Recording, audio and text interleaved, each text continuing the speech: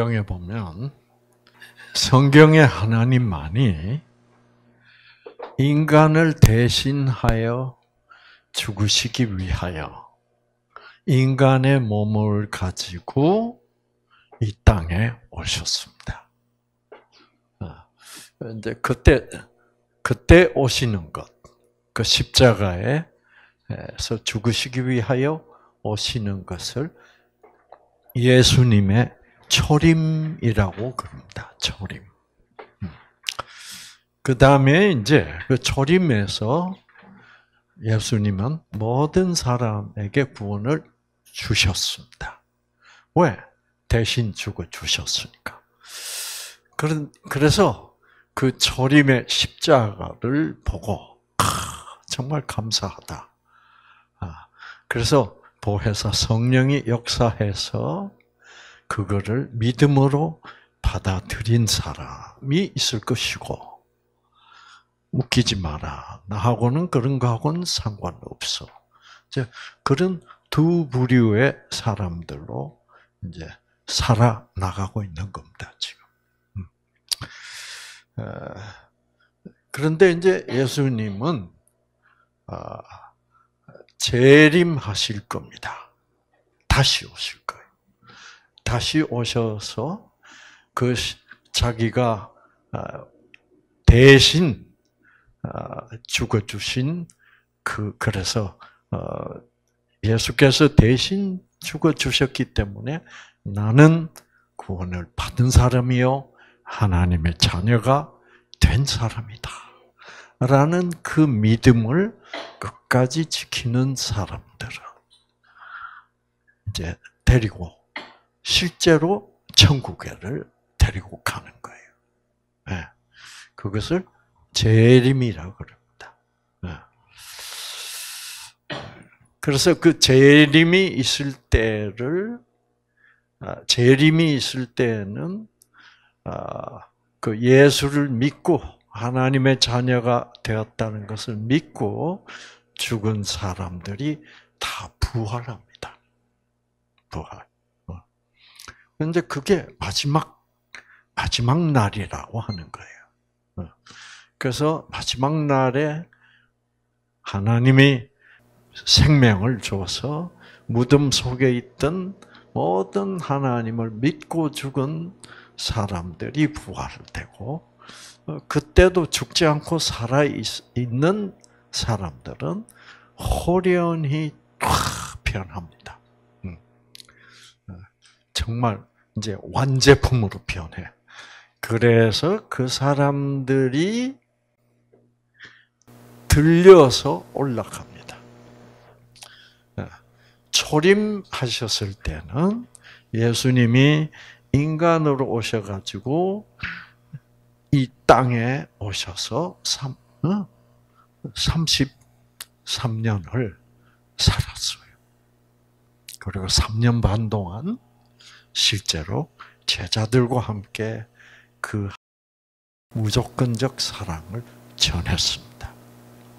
그러나 재림 때는 이 땅에 예수님이 내려오시지 않고 공중에 재림하십니다. 재림하셔서 어, 그 하나님의 자녀가 되었다고 그 십자가의 그 구원을 받아들인 사람을 변화시켜 부활시키고 변화시 변화시켜서 이렇게 들려 올립니다. 그 끌어올리는 거죠. 그래서 어, 공중에서 어, 그 부활을 하고 들려 올라간 성도들이라 그러죠. 그 성도들과 함께 예수님은 실제로 천국에 가시게 되었어요. 자, 그래서 어, 성경은 그렇게 기록이 되어 있습니다. 자, 그럼 한번 봅시다. 어, 고린도전서. 자, 여러분, 저는 제가 얘기하는 거 한마디 한마디 할 때마다 제가 하는 말과 뭐를 비교합니까? 성경 구절 구절을 비교합니다.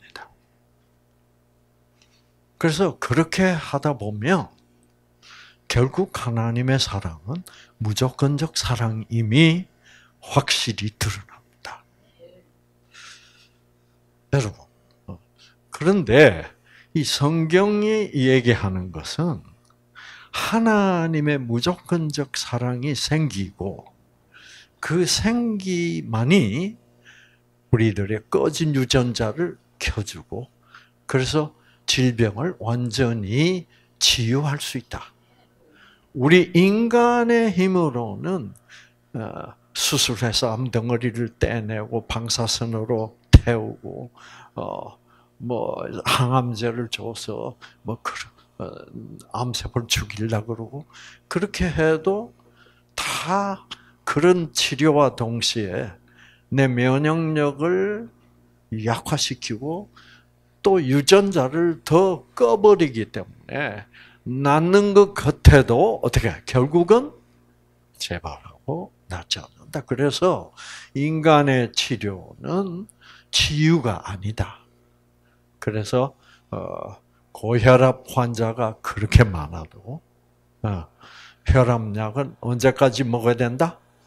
아, 죽을 때까지 그거는 안 낫는다는 얘기예요. 당뇨약도 죽을 때까지 모든 게 그래요.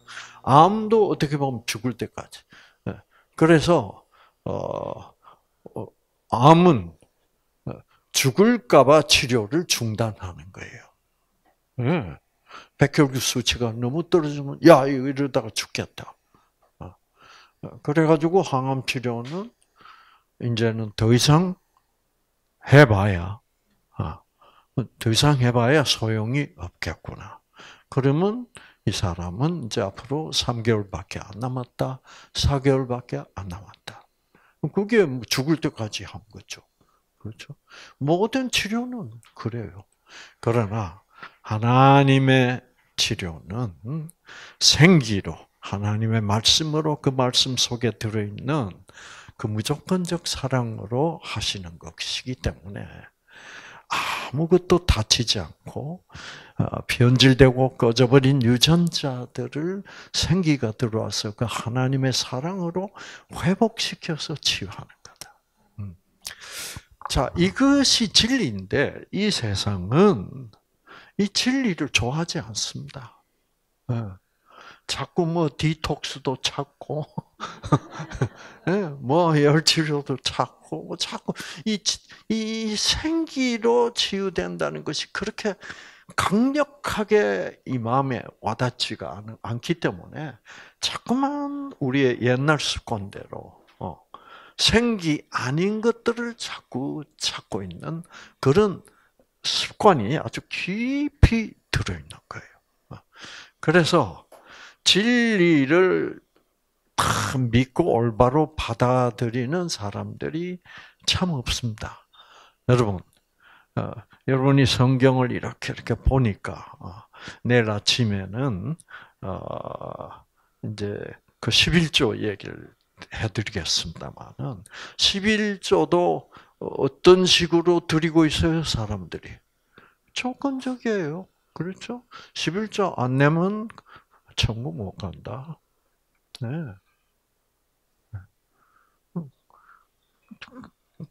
그러면 그게 조건적이지. 근데 그게 정말 진실이냐? 그거를 따져보자. 이 말이에요. 어. 그래서 다 성경을 깊이 연구해 보면 다 무조건적 사랑인데 조건적으로 얘기하는 것처럼 많은 사람들이 이 성경을 깊이 깊이 깊이 연구를 하지 않고 어느 부분만 이렇게 이렇게 해가지고 자꾸 새로운 학설을 만들어. 아시겠죠? 어. 자, 그래서 우선 성경이 말하는 부활 한번 보시겠습니다. 자, 우리가 다 잠잘 것이 아니요. 잠잔다는 말은 죽어 있다는 말입니다. 잠잘 것이 아니요. 마지막 나팔에 순식간에 어떻게 호련이 다 변할 것이다. 예. 나팔 소리가 남해. 나팔 소리는 어떤 나팔 소리다? 마지막이다. 이것이 이제 우리 삶의 끝이다 이 말이야. 예. 재림 때다 이. 응? 소리가 나면 죽은 자들이 썩지 아니할 것으로 다시 살고 우리도 변화할 것이다. 이게 마지막 때 일어나는 일이다 이 말이. 아시겠죠? 마지막. 자, 그래서 이제 이제 요한복음으로 갑시다. 그래서 성경으로 여러분이 교회에서 뭐 누가 와서 이렇게 권위 있는 사람, 뭐 박사, 뭐 신학 박사 가르친다고 해서 성경하고 맞지 않으면 여러분 그 받아들이면 안 돼요. 네. 성경에 성경과 같이 맞는 얘기인가 아닌가? 그걸 항상 비교해야 돼요. 네. 자, 요한복음 6장 44절. 자, 그래서 나를 보내신 아버지께서 이끌지 아니하면 아무라도 내게 올 수 없으니 내게 오는 그를 즉 하나님은 무조건적 사랑이라고 믿고 예수께 오는 그 사람을 내가 언제 마지막 날에 마지막 날이에요. 마지막 날에 다시 부활시키리라. 자, 그 다음에 내 살을 먹고 내 피를 마시는 자는 이 말은 나의 가르침을 다 받아들이는 자는 이 말입니다.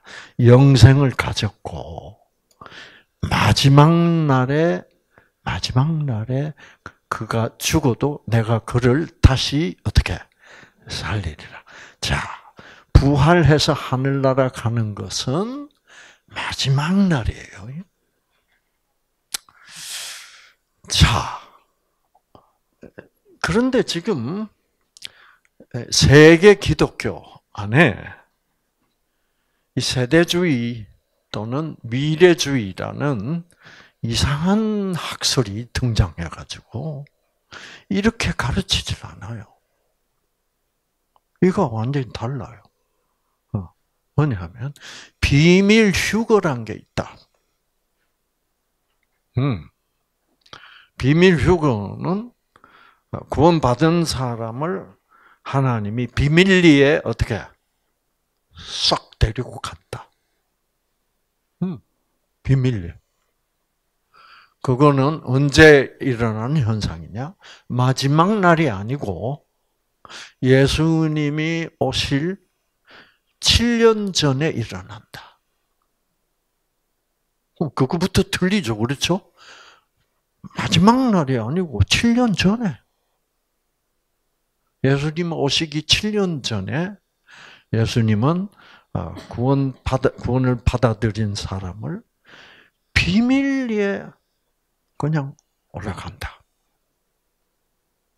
그래가지고 어떤 때는 어, 비행기 조종사가 비행기를 타고 가다가 어, 어, 그 비행기 안에 뭐 300명의 승객들이 있는데 근데 그 조종사가 예수 믿는 조종사가 돼 가지고 비행기 타고 가다가 아 이 조종사가 슉 없어져 버려.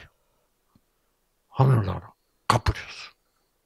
그래서 비행기가 추락해서 다 죽는다. 뭐 이런 이런 얘기가 그냥 어, 이제 교인들에게 돌아댕기고 그러는데, 아 그래서 그런 교인들이 아, 그걸 또 믿어요. 어떻게 믿어요? 성경을 안 보니까 믿지. 성경에는 하늘날 예수 믿는 사람들은 부활해서 그렇죠? 부활해서 어, 들려 올라가서 그래서 하늘나라 간다. 그거는 예수님 재림하시기 7년 전이 아니야. 그 재림하시는 날에 그렇게 된다는 거죠. 자, 음. 그래서 또 봅시다. 11장. 자, 마지막 부활, 마지막 날 부활에는 다시 살 줄을 내가 아나이다. 그러니까 마지막 날 예수님 재림하셨을 때가 그때 이 세상의 마지막 날이야. 그 이후에는 없어. 마지막 날, 응, 부활할 때. 그러니까 마지막 날에 부활합니다. 어, 부활 때는 다시 살 줄을 내가 알아야 돼. 마지막 날에. 그리고 어, 이제 데살로니가전서 4장 그러니까 성경 공부를 이렇게 잘 해야 돼요. 열심히 해야 돼요. 이런 거 안 하고 그냥 구라만 치는 거는 안 돼요. 하나님께서 호령과 천사장의 소리와 하나님의 나팔로 친히 하늘로 쫓아 내려오시리니 강림하시리니. 네. 그리스도 안에서 죽은 자들이 먼저 일어나고 그 후에 살아남은 자도 저희와 함께 어디로? 구름 속으로 끌어올려져서 공중에서 예수님을 영접하게 하시리니 그리하여 우리가 항상 주와 함께 있게 될 것이다. 어. 네. 자, 이제 그 비밀 휴거를 얘기하는 사람들은 어, 예수님이 재림하시기 전에 7년 전부터 굉장한 환란이 있을 것이다. 그래서 예수를 잘 믿는 사람들은 환, 환란을 안 당하게 하려고 먼저 비밀리에 예, 데리고 가버린다. 예, 예. 자, 그는 좀, 왜, 예수를 잘 믿고 받아들였으니까 환란을 면제해 준다. 이런 뜻입니다. 그리고 그 환란은 어, 믿지 않는 사람들은요 안 믿었기 때문에 혼내준다. 그런 뜻이에요. 참 조건적이죠, 그렇죠? 네. 그런데 여러분 믿지 않는 사람들은 즉 믿지 않는 사람이라는 말은 무슨 말이에요? 하나님을 어떤 분으로 아는 사람들? 조건적으로 아는 사람들은 마음의 평화가 있을 수 없습니다. 그렇죠? 그 자체가 혼란이에요. 아시겠죠? 네. 자, 그런데 네, 여러분, 아, 이 세상 끝이 다가올수록 예수님이 재림할 때가 가까워 올수록 사단은 어떻게 할까요? 사단은 누구를 공격할까? 예, 성도들, 믿는 사람들을 공격해. 공격해서 뭐 하려고? 한 성도들이라도 어떻게? 예, 포기하게 만들어. 그래서 우리 믿는 사람들은 예수님이 오실 때까지 환란을 당하게 돼 있어. 어. 그래서 예수님이 뭐라 그래요? 너희가 환란을 당하나 담대하라. 내가 세상을 이겼노라. 어, 너희는 환란을 당할 것이다 그래요. 그런데 이 학설은 이 비밀 휴거설은 잘 믿는 사람은 환란을 어떻게 안 당하게 하려고 먼저 비밀리에 예수님 오시기 7년 전에 데리고 올라가신다. 네. 그거는 말이 안 돼요. 예수님을 하나님을 잘 믿는 사람들일수록 항상 사단은 어떻게 더 공격을 해서 환란을 더 힘들게 해서 어, 포기하도록 그렇게 만드는 겁니다. 자, 그 다음에 이제 그러면 그 비밀리에 들려 올라간다. 아, 하나님이 데리고 가버리신다. 는 말이 어디 이제 그 마태복음하고 누가복음에 나오는데 누가복음 17장에 보시면 여기도 이제 인자에 나타나는 날에도 그러하리라. 이 재림이 예수님이 다시 오시는 재림이 아주 임박하면 사단이 막, 막 발악을 하면서 성도들, 믿는 사람들을 이제 공격을 할 테니까, 음.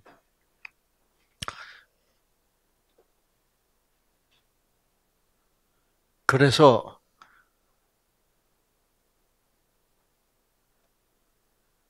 사람, 어. 그래서 이제 그때가 되면 사단이 사람들을 속이기 위하여 많은 사람들이 속아가지고 보라, 아 진짜 진리는 여기 있다, 진짜 예수는 여기다, 여기다. 이래가지고 온갖 예수님 하나님에 대한 각각 다른 학설들이 난무할 것이다. 음. 자, 어, 그거는 왜 그래요? 사단은 하나님이 무조건적 사랑임을 알지 못하게 해서 여러 종류의 교리를 만들 것이다. 이 말. 그래서 여기 구원이 있다. 여기 예수가 있다. 이 교단에 예수가 있다. 이렇게 할 거. 지금 지금이 그런 때예요. 교단이 얼마나 많아요 세상에. 그런데 각자 자기 교단에 속해야 된다고 생각해. 네. 자, 그러나 너희는 그쪽으로 가지도 말고 쫓지도 말라. 번개가 하늘 아래 이편에서 번듯하여 아래 저편까지 비친 같이 인자의 날도 그러하리라. 예수님이 재림하시는 그때는 그냥 동서에서 번개가 비친 것, 모든 사람이 어떻게 아 예수님이 오시는 날이 이제 가까웠구나 하는 것을 다 알게 된다며. 비밀리가 아니야, 비밀리가. 아시겠죠? 그래서 이제 환란이 막 올 때, 예, 그때 사람이 지붕 위에 있고, 어, 예, 지붕 위에 있어서 지붕을 고치고 있었으면, 어, 뭐, 뭐, 뭐, 도망가야 될 텐데, 어, 집 안에 들어가서 뭐 세간 뭐 준비하고 이러고, 어, 그럴 시간 없다. 무조건 어떻게? 그때는 도망가라. 이런 얘기를 하고 있는 거예요. 자, 그래서 무릇 자기 목숨을 보존코자 하는 자는 잃을 것이요. 잃는 자는 살리라. 그, 그래서 그때는 너희들에게 제일 중요한 것이 하나님이지, 뭐 세간, 뭐 이 물건, 이거는 갖고 가야 돼. 이러지 말라, 이 말입니다. 어. 이제 그게 예. 그러면서 내가 너희에게 이르노니 이제 그때가 되면 그때가 되면 언제가 되면 재림 때가 되면 또는 마지막 날이 되면 이 말이에요. 응. 그 밤에 두 남자가 한 자리에 누워 있음에 하나는 데려감을 당하고 하나는 뭐예요? 버려둠을 당할 것이다. 바로 이 말에서 이제 휴거가 비밀 휴거가 나온 거예요. 어. 음. 두 사람이 누워 있는데 한 사람이 없어졌다. 한 사람 하나 데리고 가버렸대. 이게 휴거설의 제일 중요한 성경절이에요. 어. 그래서 사실 이것 때문에 휴거설이 나온 거예요. 음. 자, 그 다음에 두 여자가 함께 맷돌을 갈고 있는데, 어 갑자기 두 여자가 어, 마주 앉아서 맷돌을 갈고 있어. 어, 밀러 가지고 밀가루 맺는다. 이러고 있는데, 어 여기 앉아 있던 여자가 없어져 버렸어. 어. 그런데 자 여러분. 그래서 하나는 데려감을 당하고 하나는 버려둠을 당할 것이다. 자, 여러분. 제자들이 궁금해졌습니다.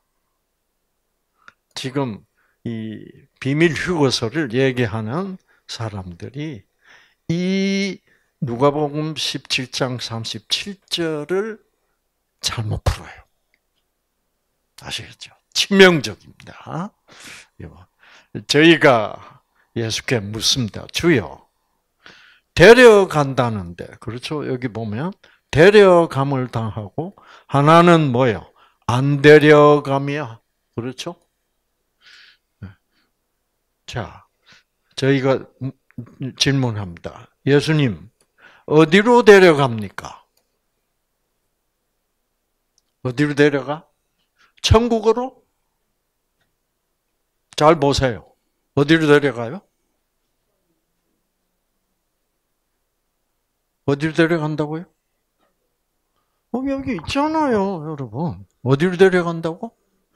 죽음이 있는 곳. 시체들이 있는 곳으로 데려간다. 그 무슨 말이에요? 데리고 가는 사람은 어떤 사람이라고?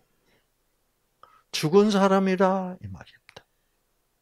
죽은 사람이다라는 말은 무슨 뜻이에요? 영적으로 생명이 없다. 즉 무조건적 사랑의 하나님을 믿는 사람이 아니다. 그런데 맷돌은 같이 갈고 있다. 그건 무슨 말이에요? 너도 선교사 일을 하고 있고 나도 선교사 일을 하고 너도 목회자고 나도 목회자. 다 같은 겉으로 보면 같은 일을 하고 있어. 근데 한 사람은 어떻게? 한 사람은 예. 네, 죽음 있는 대로 간다. 하늘나라 아니에요. 요거 한마디면 비밀 휴거서는 끝입니다. 끝나버려요. 네. 자, 그리고, 어, 그래서 제가 이거를 발견했어. 사람들이 이거를 모르는구나.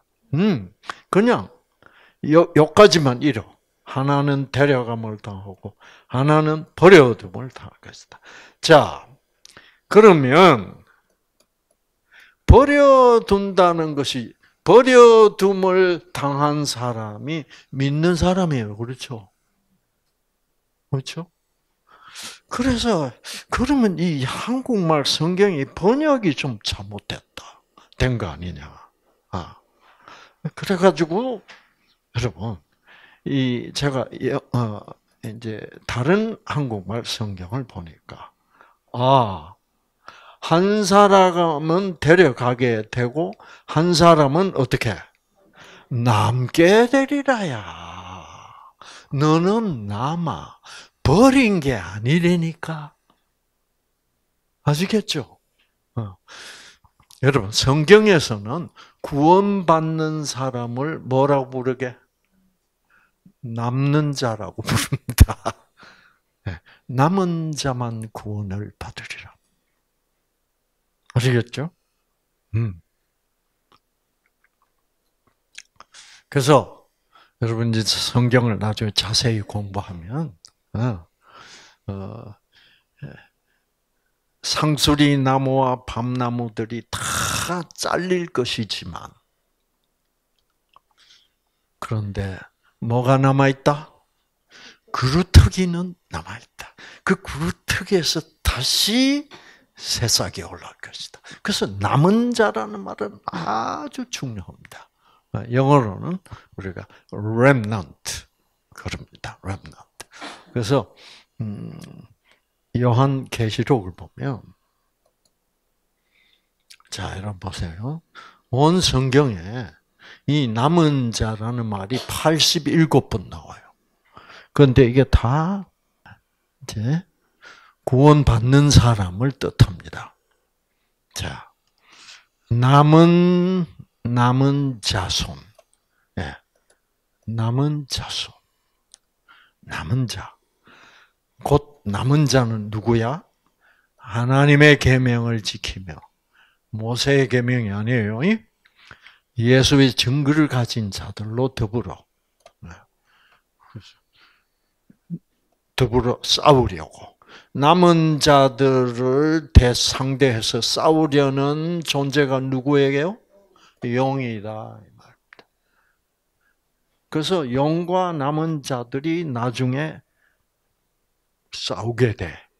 그것을 환란이라고 그래. 예. 네. 아시겠죠? 그 환란은 누가 받게 돼?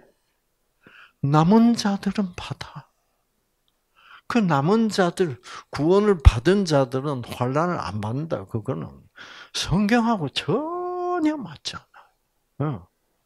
그래서 어, 그 이제 이런 이런 주의를 이런 학파를 이제 세대주의 학파, 미래 학파, 미래주의 학파라고 그러는데 이 세대주의, 미래주의를 믿는 사람들이 너무 많아요. 네. 그왜왜 이 성경을 성경하고 비교를 안 하냐 말이에요. 이거 갖다 대면 세대주의가 맞다고 얘기할 수 있습니까? 없죠.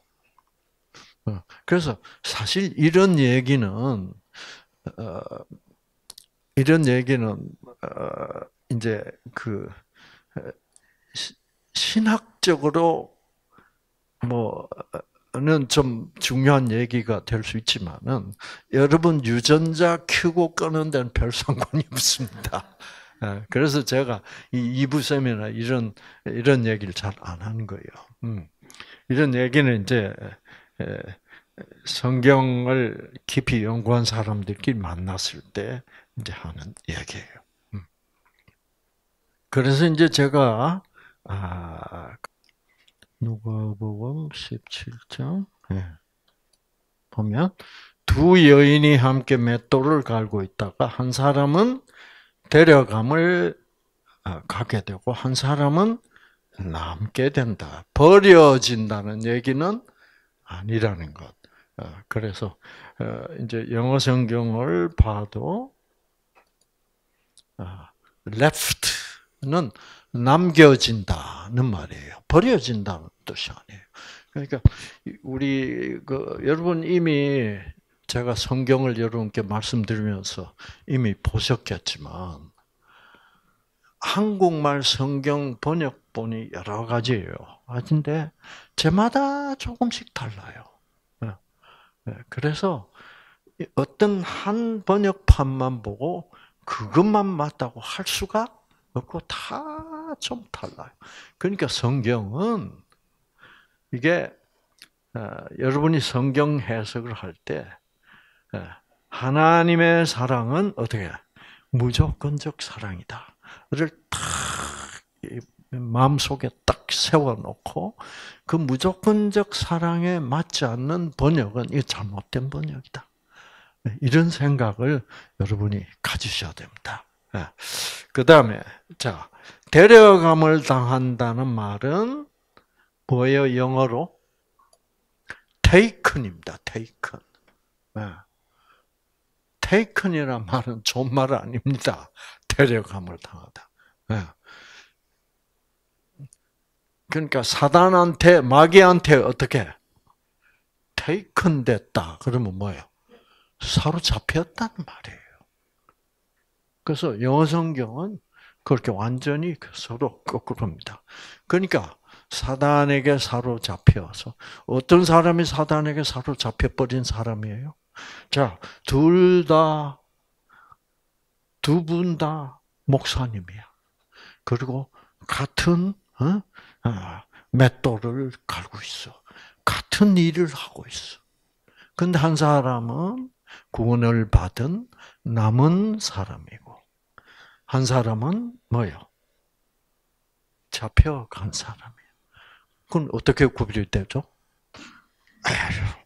이제 지금쯤은 그 뭐 어려운 대답 아닌데 당연한 대답인데 제가 맨날 하는 소리인데 한 사람은 조건적으로 가르친 사람이고 한 사람은 그야말로 무조건적 사랑 예수 그리스도를 가르친 사람이다 이 말이에요. 어.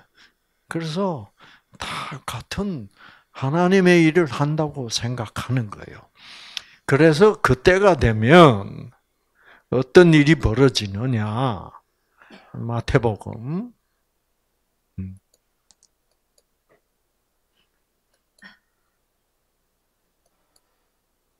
이런 얘기하면 전혀 감동은 없어요. 아시겠죠?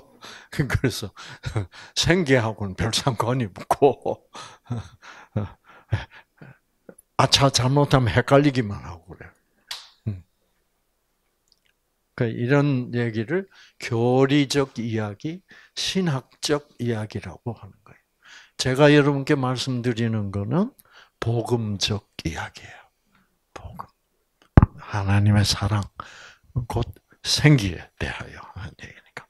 자, 마태복음 8장을 보면, 자, 여기에 이제 거짓 선지자라는 말이 나오는데, 예, 예, 진짜 선지자와 거짓 선지자가 다른 점은 뭐예요? 그것도 그것도 똑같아요. 조건적, 무조건적 하면 다 정답이야. 그런데 뭘 아직도 꾸물꾸물 하세요? 음. 자, 그래서 나더러 주여 주여 하는 자마다 천국에 다 들어갈 것이 아니다. 어. 나보고 하나님 하나님 불러도 어, 너희가 나를 어떤 사람은 나보고 하나님이라고 불러도 또는 예수님 예수님이라고 불러도 나를 조건적 하나님으로 알면 그것은 너희들 청 나를 믿는 것이 아니다. 누구와 누구처럼 가인과 아벨처럼 두 사람 다 하나님께 제사를 드려서 안 드렸어요. 어, 두 사람 다 제물을 바쳤어. 그러나 한 사람은 조건적으로 믿었고 아벨은 무조건적 하나님을 믿었어. 어. 자, 그래서 나더러 하나님 하나님 하는 자마다 천국에 다 들어갈 것이 아니요. 다만 하늘에 계신 내 아버지의 뜻대로 행하는 자라야 들어가리라. 내 아버지의 뜻대로 행한다는 말은 어, 아, 모세 율법을 잘 지킨다는 말로 저는 옛날에 제가 안식일 교인일 때 그렇게 생각을 했죠. 어, 그래서 그러니까 십계명이 모세가 하나님으로부터 받은 십계명이 있다면 그 십계명을 어떻게 잘 지켜야 된다. 근데 어, 십계명 뭐 어, 살인하지 말라, 뭐 부모를 공경하라, 간음하지 말라, 뭐 도적질하지 말라. 대충 지키기 쉬워요, 안 쉬워요? 대충 지키기 쉬워. 근데 제일 안 지켜지는 게 탐내지 말라. 어, 남이 좋은 거 가지고 있으면 아, 참 좋겠다. 어, 그리고 이제 제일 중요한 게 뭐예요? 토요일이 안식일인데 그날에 예배를 봐야 된다. 어, 그럼 지켜야지. 음. 자, 그게 내 아버지의 뜻대로 행하는 자가 되는 거라고 제가 그렇게 생각했었어요. 네. 정말 그 45년 전에 어, 한 40년 전에 제가 안식일 교인이 될 때 그렇게 생각하고 안식일 교회에 들어갔어요. 음. 하나 그러니까 안식일을 지키는 토요일 날 교회 가는 사람이라야 천국에 들어갈 것이다. 그래서 옛날에는 이 성경절을 해석을 어떻게 했냐면 많은 사람들이 하나님한테 가서 이제 어, 뭐 장로교인들, 침례교인들, 감리교인들 다 와서 아버지 이게 어떻게 된 겁니까? 그럼 하나님이 너희들은 십계명 안 지켰어. 이상구는 토요일 날 교회 갔거든. 그 십계명 지켰잖아. 너희들은 뭐요? 일요일 아니야. 그거 안식일 아니거든. 이제 그렇게 되는 걸로 생각했어. 그런데 그거는 하나님이 모세에게 구약 성경 때, 구약 성경, 구약 때 주신 율법, 그것은 불완전하였고, 음, 예수님이 이제 그 율법을 완전하게 해서 주신 것은 아, 그냥 토요일 날 쉬라는 얘기가 아니고 나는 너희들에게 완전한 구원을 줬다. 라는 그리고 나는 그 약속을 구원을 주겠다는 약속을 내가 지킨 것이다. 그러니까 너희는 이제 하나님의 자녀가 됐으니까 하나님이 보혜사 성령을 너 마음속에 보내가지고 너희도 나처럼 무조건적 사랑을 실천할 수 있는 사람으로 만들어 주겠다라는 새 언약, 새 약속을 하셨다 이 말이야. 아시겠죠? 음.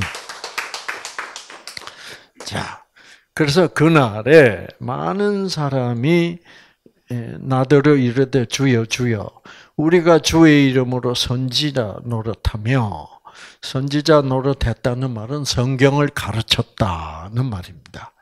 주의 이름으로 귀신을 쫓아내었고 그리고 또 주의 이름으로 많은 권능을 행치 아니하였나이까.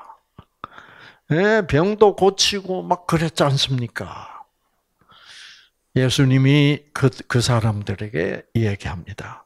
그때 내가 그 사람들에게, 저희에게 밝히 말하되, 내가 너희를, 내가 너희를 도무지 알지 못한다. 아, 여러분, 내가 너희를 도무지 알지 못한다. 아, 이 말은 문제 있는 말입니다. 전지전능하신 하나님이 모르는 사람이 있을까요?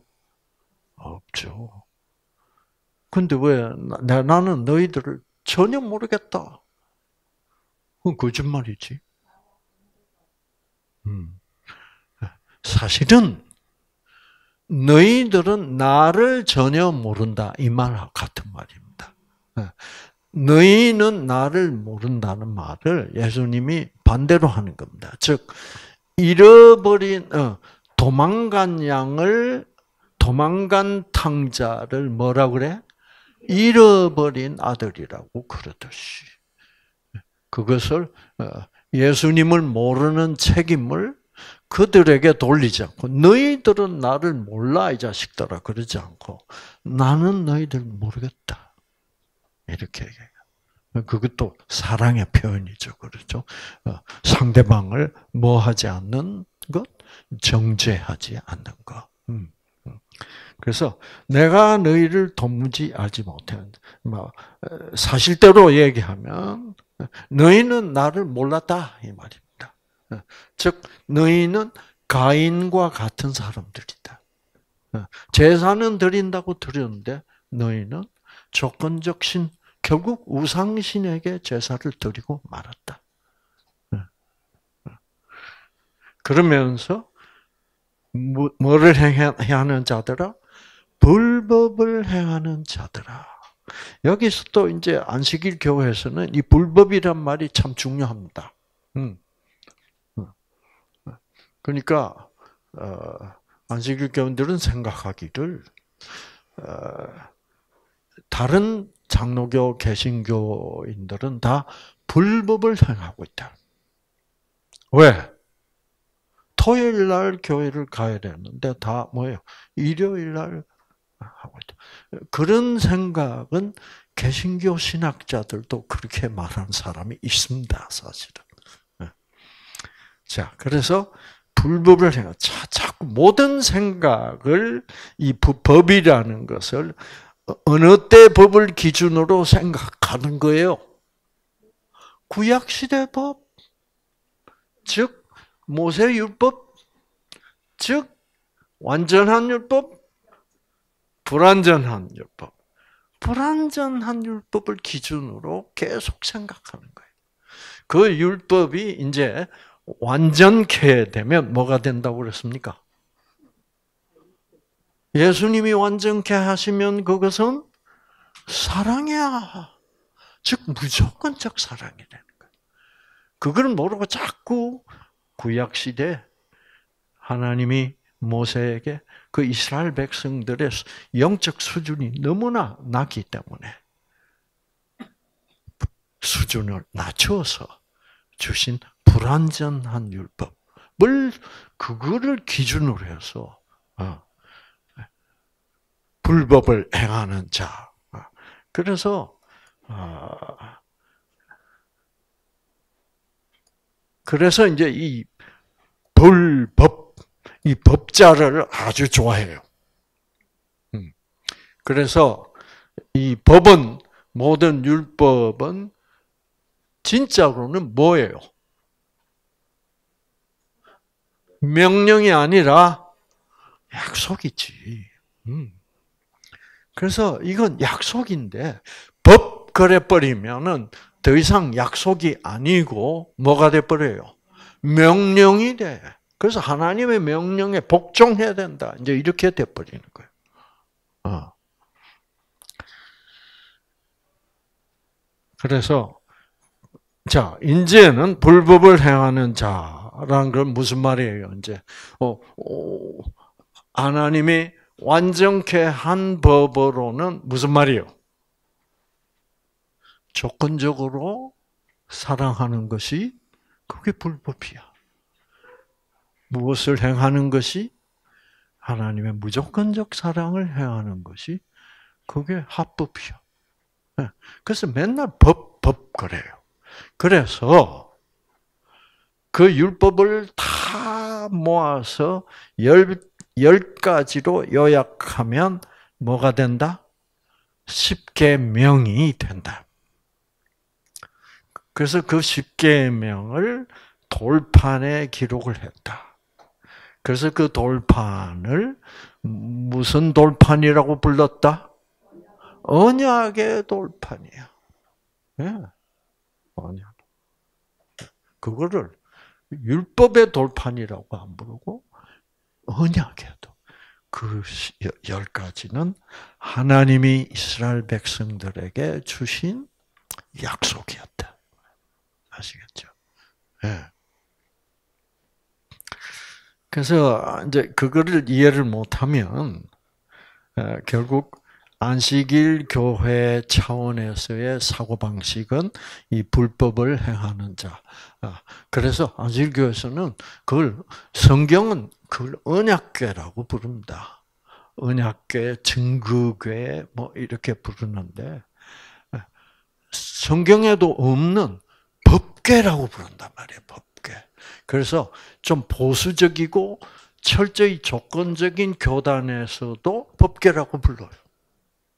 그런데 여러분이 성경을 찾아보면 법궤라는 단어가 없습니다. 아, 이 개역 한글 성경에 법계라는라고 번역한 부분이 딱 한 군데 있어요. 그런데 그것도 찾아보면 어, 법계라 그러면 어, 영어로 하면 어떻게 돼요?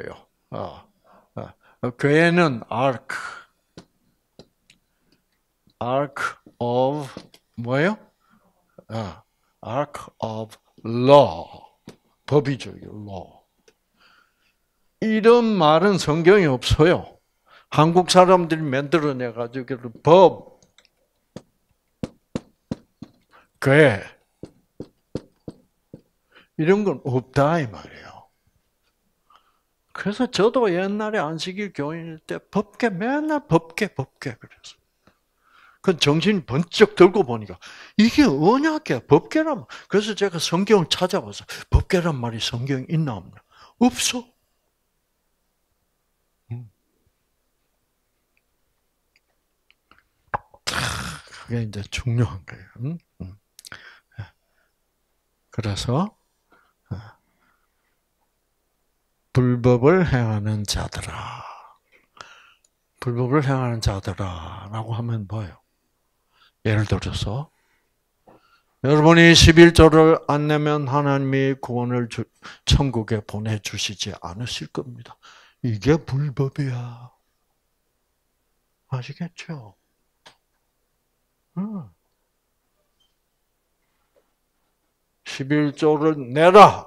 라는 것을 무엇으로 본 거예요? 명령으로. 그리고 그게 명령이야? 그 명령 안 지키면 뭐예요? 천국 못 가. 그 조건적이죠. 지금 심각합니다, 여러분. 아시겠죠? 그래서 여러분들이 자, 어떻게 해서든 이 조건적으로 세뇌된 여러분의 사고 방식을 성경에 대하여 철저히 조건적으로 세뇌가 돼요. 그거를 빨리 자꾸 자꾸 여러분이 연구를 하고 이 강의를 듣고 이래가지고 자, 아, 그게 아니구나, 그게 아니구나. 역시 하나님의 사랑은 무조건적이요. 그러니까 예수님이 이미 미리 예언해 놨잖아요. 그 재림 때가 되면 이런 일이 벌어질 거다 이 말이야. 음. 수많은 사람들이 나는 하나님께 충성을 다했는데요. 그리고 11조를 제가 아마 제일 많이 냈을 걸요, 우리 교회에서. 그래서 그들은 그렇게 했으니까, 제일 충성 많이 하고 11조도 많이 냈으니까, 그, 어, 천국 갈 자격을 어떻게, 확실하게 획득했다고 생각. 그것은 십자가, 십자가를, 십자가를 감사하는 생각은 없어. 결국은 누구 실력으로 천국 간 거요? 자기 실력으로. 참 이거 힘듭니다. 예. 그래서 여러분이 아주 노력하셔야 돼. 기도하시고 또 성경 보고 야 이것도 조건적이네. 음. 음. 그래서 그런데 또 공부를 해보면 이 11조를 내라는 말씀도 결국은 이게 무조건적 사랑의 표현이구나. 아, 그거는 제가 내일 아침에 이제 말씀드리죠. 그래서 드디어 그 질문이 나왔어요. 제가 자꾸 무조건적 사랑이라 그러는데, 여러분들은 교회 다니면서 아마 11조 내는 사람들 많을 거예요. 무슨 생각으로? 천국 갈라고. 그렇죠? 근데 아무도 안 물어봤다, 이 말이에요. 드디어 누가 물어봤어. 어. 그렇죠. 그래서, 아, 이건 아니잖아. 11조는 어떻게 되는 거지? 이제 이런 질문이 나와야 돼. 네. 안 그러면, 여러분, 그렇게 되면 아, 이 11조까지도 이게 하나님의 사랑이 무조건적 사랑이라는 것을 가르쳐 주기 위하여 11조라는 게 있구나. 이제 이런 거를 여러분 깨닫게 됩니다. 음. 자, 그러므로 누구든지 나의 이 말을 듣고 행하는 자는 그 집을 반석 위에 지은 지혜로운 사람 같으리니 비가 내리고 창수가 나고 바람이 불어 이 말은 다 믿는 사람들이 환란을 당한다는 말입니다. 아시겠죠? 그 집에 부딪히되 무너지지 아니하나니 이는 주초를 반석 위에 놓은 연고요. 즉 무조건적 사랑 위에 너의 신앙을 쌓아가면 아무리 환란이 와도 절대로 안 무너진대요. 왜? 무조건적 사랑이니까. 어? 내가 부족한 거 다 알고 있고. 그래서 베드로처럼 세 번씩이나 예수님을 부인해도 다시 어떻게? 다시 일어설 수 있는 거예요. 어? 넘어졌다고 하나님이 베드로가 세 번씩이나 예수님을 배신하는 말을 했다고 해서 예수님은 너 같은 놈은 천국 못 와. 이런 분이 절대로 아니다. 내가 이렇게 세 번씩이나 예수님을 부인했을지라도 예수님은 이런, 이런 부족한 나를 절대로 버리시는 분이 아니다. 를 믿는 믿음, 그게 반석이야. 반석. 음. 음. 자, 그래서 이 비밀 휴거를 가르치는 문제로 여러분 심각한 문제들이 그동안 많이 발생했습니다. 아시죠? 어, 그리고 제가 인터넷에 잠깐 들어가서 보니까 아, 어, 벌써 뭐 1919년 뭐 9월 23일 날 예수가 온다고 한바탕 예언을 했더라고요. 그안 왔어. 그래가지고 또 2020년 몇월 며칠에 또 온다가 또 안 왔어. 여러분 그런 거는 왜 그렇게 예언하는 목사님들이 있어요. 근데 예수님은 제자들에게 뭐라 그랬습니까? 네. 나도 그게 언제가 될지 모른다. 나도 모른다. 아무도 모른다. 누구만 안다? 하늘에 계신 아버지만 안다. 그래서 이 하늘에 계신 아버지만 안다. 실제로 재림하실 날짜는 아무도 모른다. 근데 안식일 교회가 형성된 이유가 그 옛날에 1800년도에 1800년도 초반에 존 밀러라는 아, 아, 윌리엄 밀러라는 어떤 교회 장로가 침례교 교회 장로가 그 하나님 아버지밖에 모르고 예수님도 모른다는 나를 어떻게 알아냈다고 네, 선포를 한 거예요. 그래서 그 날이 언제냐면 1883년 뭐 10월 뭐 20 며칠이다. 이래 가지고 온 미국 동부 지역이 막 난리가 난 거예요. 네. 아니, 여러분. 예수님도 모른다 하는 날인데. 그거를 사람이 뭐예요? 알아내려고 그리고 날짜를 예수님이 이미 얘기했어 제자들에게. 나도 모른다. 오직 하나님 아버지. 그때가 언제가 될는지 아버지 하나님밖에 모른다. 그런데 이 윌리엄 밀러라는 사람이 그 당시에는 안식일 교회가 없었어요. 네. 이 사람이 막 내가 알아냈다 이거야. 야, 그럼 윌리엄 밀러는 누구보다 나은 사람이요? 예수님보다 나은 사람이요. 이게 이단의 출발이에요. 이단의 출발점.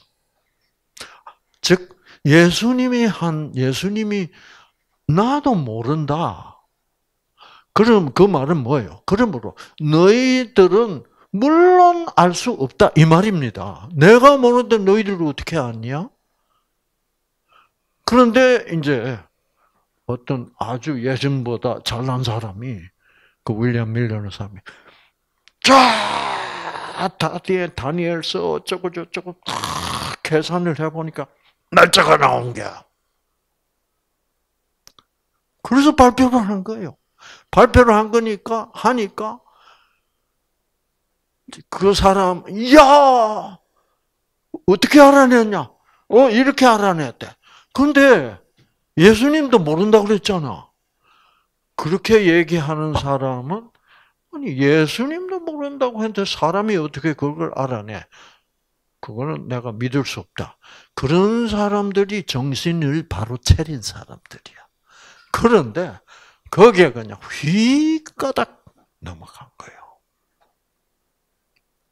참, 네. 그래가지고 그래가지고 그 참 그래가지고 이제 그것도 첫 번째 예언한 날이 안 맞았어. 그래서 그거를 또 뭐 한 6개월 연기했는가 그래요. 10월 며칠 나온다 그걸 그거를 또 4월 뭐 말인가 또 고쳤어. 그래가지고 그것도 안 맞았어. 그래가지고 이제 세 번째인가 1844년 10월 23일이 맞다. 그날도 안 온 거야.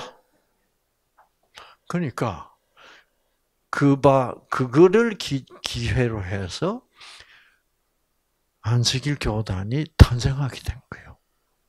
아시겠죠? 네. 그러니까 여러분 그래서 이제 자, 그 안식일 교인이 된 사람들은 그때 야 1844년 10월 23일 틀림없이 온다고 믿었던 사람들. 그러니까 그 사람들은 어떤 사람인 거예요? 우리는 예수님보다 뭐요?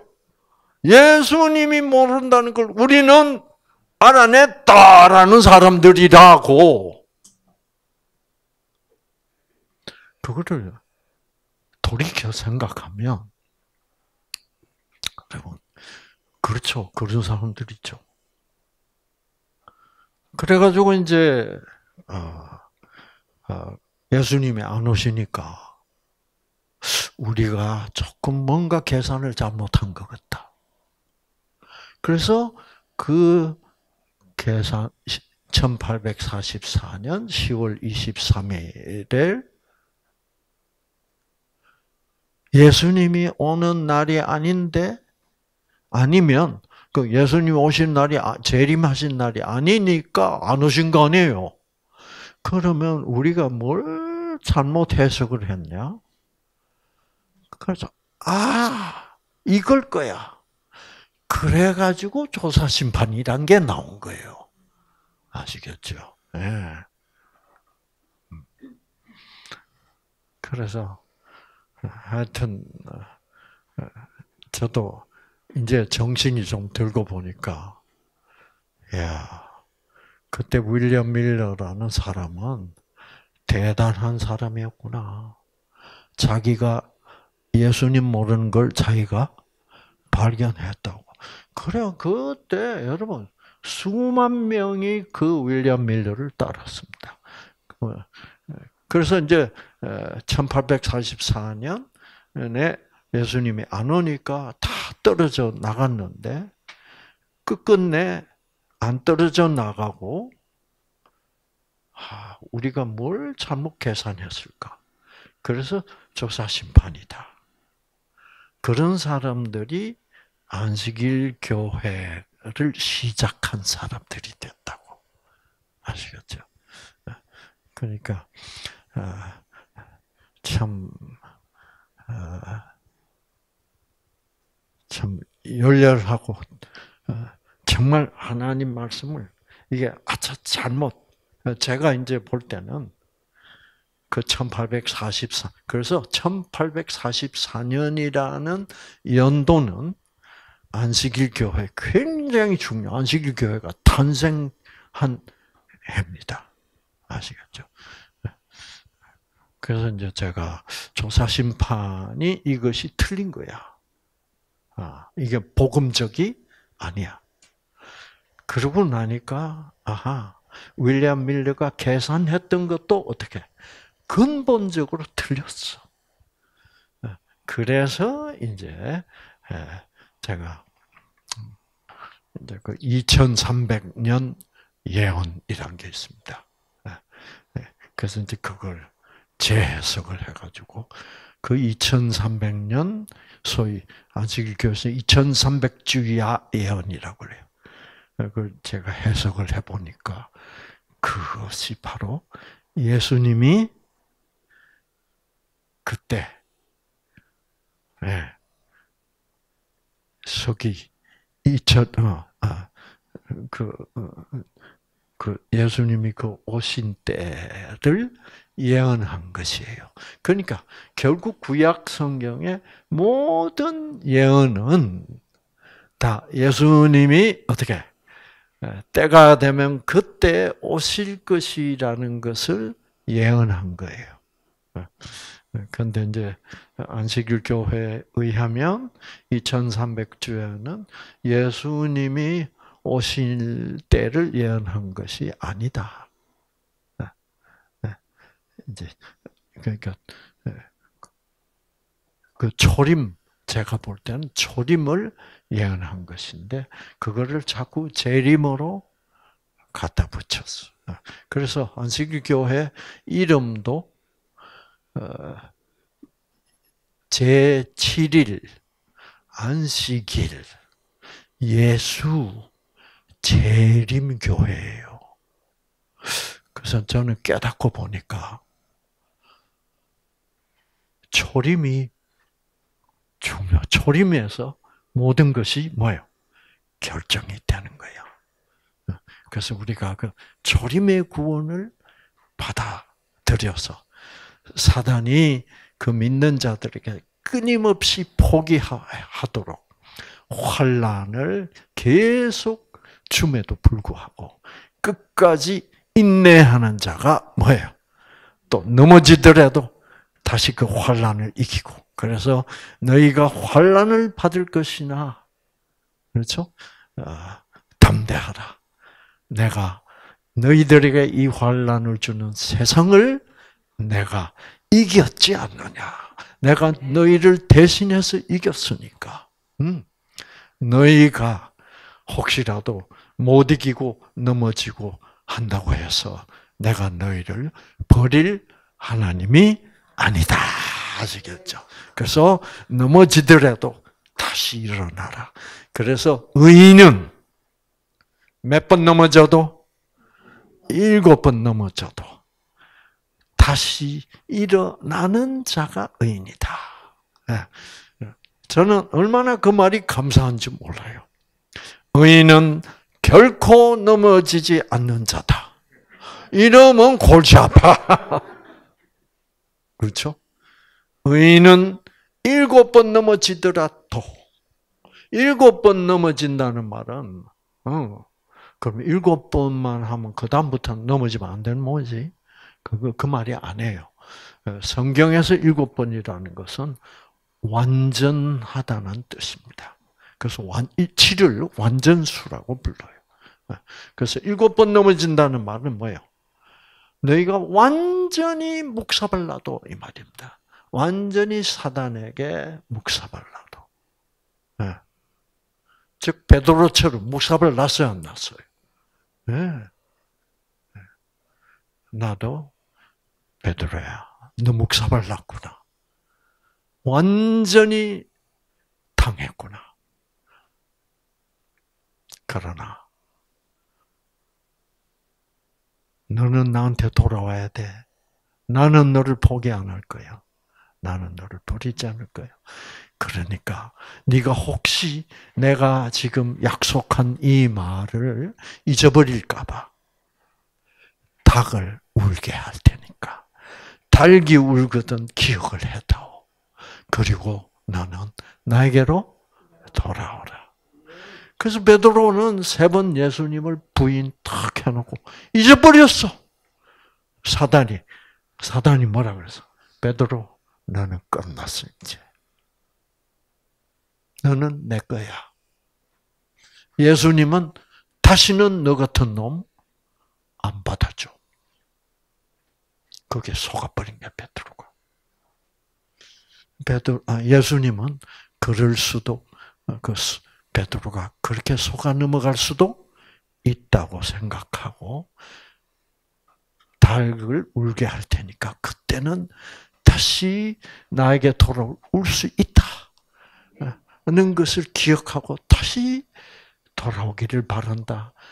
부디 너의 믿음이 즉 나는 너를 무조건적으로 사랑하는 하나님이라는 그 믿음이 떨어지지 않도록 나는 너를 위하여 기도할 것이다. 그리고 닭을 울게 할 것이다. 꽉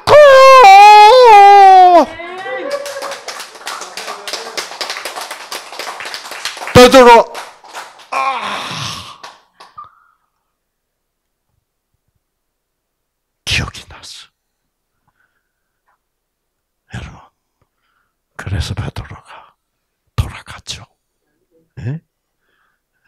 여러분, 그 하나님을 생각하면 우리가 환란을 당하나 충분히 담대할 수 있습니다. 예. 어, 환란을 당할 때 담대할 수 없는 이유는 뭐예요? 아이고 이번에 또 넘어지면 하나님이 이제 뭐 나 버리시겠지. 그럼 못 담대할 수가 없잖아. 그러니까 내가 아무리 넘어져도 하나님은 나를 버리지 않는다. 그러면 악착같이 끈덕지게 싸울 수 있어요, 없어요? 어, 있어. 저도 또 쓰러져도 어? 하나님은 나를 포기하지 않으니까. 하나님이 세상을 이겨 음, 이겨 주신 건데. 부디 여러분 그 믿음이 떨어지지 않도록 여러분 모두를 위해서 예수님은 기도해 주실 것입니다. 아시겠죠? 자, 자 이제 이제 비밀 휴거는 너무 시시해요. 아시겠죠? 어, 은혜가 하나도 없어. 그러니까 자 이제 데리고 간다, 버려둔다 이것도 아니고 그렇죠. 어, 어, 데리고 가는데 어디로 데리고 간다고요? 죽음 있는 대로. 예, 그거 한마디만 하면 죽어 끝입니다. 이거 한마디를 몰라가지고 막 지금 아직도 싸우고 있는 거예요. 누가 맞다, 맞다. 어, 저는, 어, 죽음 있는 곳으로, 이거를 왜, 너무 쉬운데, 사람들이 못 봐요, 이거를. 예. 하나님, 정말, 사단은 여러, 이, 성경에 나타나는 이 성경 말씀 이외에 여러 가지 다른 학설을 등장시켜서 하나님의 백성들을 혼란스럽게 하고 있습니다. 정말 그래서 우리는 어느 누구 권위자, 학자, 아, 목사 이런 그 권위가 있기 때문에 그분들이 들려주는 말을 성경적이라고 믿지 말고 그런 이야기를 들었을 때 우리는 성경으로 비교해 가면서 이게 과연 성경에 있는 말인가? 아, 그리고 그걸 모르겠으면 정말 누구에게라도 물어보는 그런 열심을 가진 우리 모두가 되게 하여 주시옵소서. 아, 그래서 우리가 성경 한마디 한마디 한 말씀 한 말씀 속에 나타나는 하나님의 그 놀라운 무조건적 사랑을 더 깊이 깨닫고 더 강력한 생기를 받아 정말 놀라운 하늘의 치유를 맛보는 우리가 되게 하여 주시옵소서. 예수님 이름으로 기도합니다. 아멘.